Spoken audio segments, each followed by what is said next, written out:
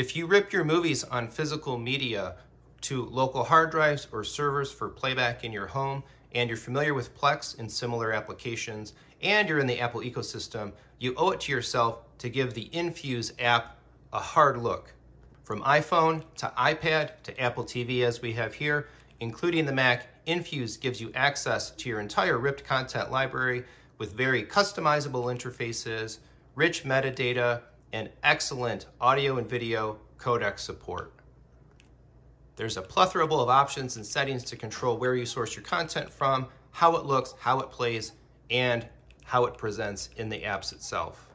If you'd like to learn more about the Infuse app, check out the videos on my Techthusiasm channel, including this full-fledged Infuse review popping up now.